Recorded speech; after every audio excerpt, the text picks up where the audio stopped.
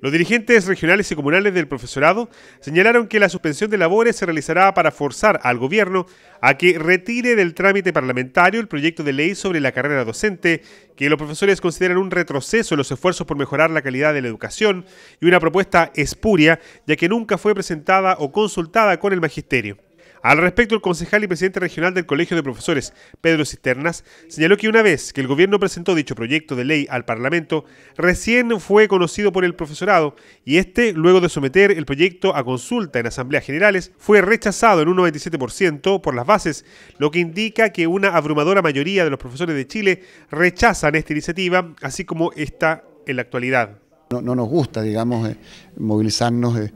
eh, digamos, de por sí, pero esta vez hay más razones que nunca para que los profesores chilenos eh, eh, puedan paralizar sus actividades en tanto este proyecto nos lanza a la, a la competencia por un pozo de dinero que va a formar parte de nuestro aumento salarial. no entendiendo que el éxito de todo proceso pedagógico tiene que ver con el trabajo colaborativo y no competitivo. Este proyecto de ley nos encasilla en cinco tramos que ahonda el llamado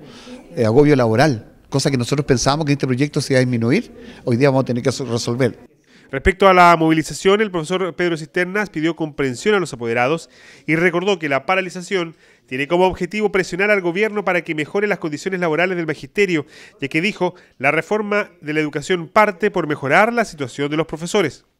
Finalmente, ¿qué le diría usted a los apoderados que no van a poder mandar a sus niños a los colegios porque van a estar en paro? Toda la comprensión eh, del mundo a nuestros apoderados de los colegios municipales. Lo que estamos haciendo nosotros hoy día es luchar porque las condiciones de enseñanza en nuestros colegios cambien, se modifiquen y esto va a redundar verdaderamente en calidad de educación futura para nuestros niños. La educación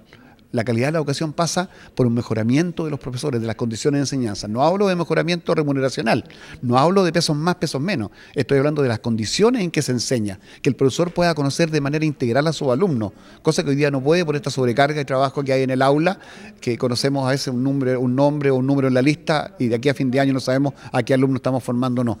El dirigente indicó que comprometieron su adhesión a la movilización los profesores de las comunas de Iquique, Alto Hospicio, Guara y Camiña. Se indicó además que además de la paralización de actividades en los colegios, este lunes el Colegio de Profesores convocó una marcha pacífica por las calles céntricas, a la cual ya comprometieron su apoyo los alumnos de las carreras de pedagogía de las universidades locales. El lunes por la tarde, en tanto, en la sede gremial del Colegio de Profesores de Calle Vivar se iniciarán los cabildos pedagógicos que consistirán en asambleas generales para debatir e informar sobre los nuevos anuncios que realiza el gobierno respecto a las razones que motivaron esta razones que motivaron